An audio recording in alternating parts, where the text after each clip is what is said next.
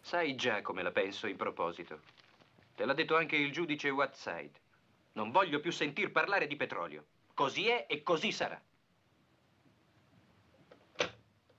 Bevo solo con gli amici. Ti sembra questo il modo di rispondere al tuo produttore? Mi hai già costretto a far lavorare tua moglie in questo film. Jason. Ma portarla qui con Marina in quelle condizioni Jason, pensa al film. È quello che sto facendo, Marty. Non voglio contrariare la mia No, protagonista. andiamo, sono certo che Marina non avrà più crisi, vedrai. Lo sai che il mio interesse è sempre anche il tuo. il tuo interesse è anche il mio. Ehi, Demil, Sono Bill Arrady. Lieta di conoscerla. Ho dello champagne, caviale, salmone affumicato, pâté de foie gras e una mezza dozzina di zingari ungheresi assortiti. Un menù squisito. Volevo invitarla a un picnic. Alle tre del mattino. È l'ora migliore. Niente formiche. Ma hanno un capo che è nostro nemico, un tale di nome Ossiola. Pare che li inciti alla guerra per mantenere il potere.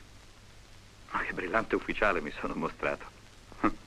Da quando sono arrivato qui non ti ho parlato che di politica. Non è davvero molto romantico. Ti sei fatta proprio donna, sai? Si cresce in fretta a vivere solo. E ti ha cambiato forse? Tre sì o no? Sì, ma gli ordini li do io. E devo andare solo. Se ci pescano tutti e tre insieme, dopo che cosa succede? Willy mi porta a terra e poi torna a bordo. Tu sta di guardia e tieni gli occhi aperti. Se tutto va bene, farò un segnale dalla spiaggia. E supponiamo che tu non possa farlo. Che succede allora? Allora prendi tu il comando. sai, Caroline, ho pensato molto a noi due, a come, a come stavamo bene insieme, ai discorsi che facevamo, quando eravamo sposati. Tutti quei sogni, i progetti. Te lo ricordi? E come no? E adesso, E adesso sei riuscito a realizzarli, lo vedo. oh, all'inferno. Ah, è lei. Eh, non si sa mai. Nascondersi negli armadi non la farà certo guarire.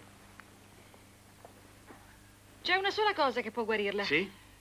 Si veste.